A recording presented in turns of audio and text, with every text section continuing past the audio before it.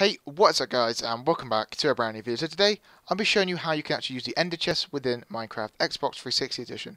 So it's pretty simple. Um, it's if you've played the PC version you'll know so you won't need to come on here. Um, but obviously if you haven't seen how the um, Ender chest works throughout uh, Minecraft it's literally a teleport. So anything anything you put inside of the chest will be teleported to another Ender chest. And I'll just show you how this works. So if I click on the ender chest and I could put in anything in here. I could put bones, I could put rotten flesh. I could literally put anything in here. And I have another uh, ender chest here. So if we just fly over to maybe with the sheep, I put one down and I open it up and literally all the stuff will be in there as well. Um, so this is a really, really cool thing. This is this would be good for map makers.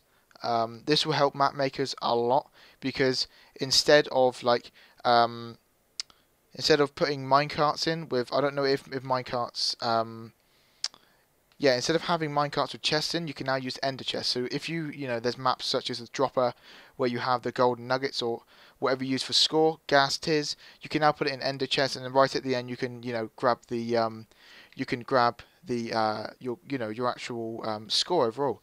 So this would be good for um map makers and stuff like that. It's going to be really really good. Um hopefully some really cool maps will come out. Maybe now people will probably, or the the creator of the dropper on the Xbox 360 edition will probably input, you know, implement this into that map, which would be really really cool.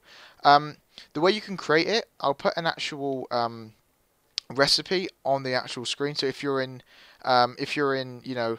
Um, uh, you know, survival mode, you'll know what to get. I'm pretty sure it's an Eye of Ender with um, blocks of obsidian around it, but I could be completely wrong on that.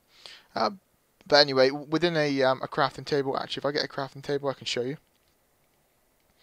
So we just go to a, um, a crafting table right here, and I just place it down. And um, as you can see, here's a chest. The ender chest is one eye of ender, like I said, and uh, 8 bits of obsidian, so I was right. Um, and I just want to say, throughout the videos that I am putting up, I am using the city texture pack, so all the stuff has been put in the city texture pack, as well as um, you know the other texture packs. I just wanted to show off this within you know a different texture pack and all the all the different stuff.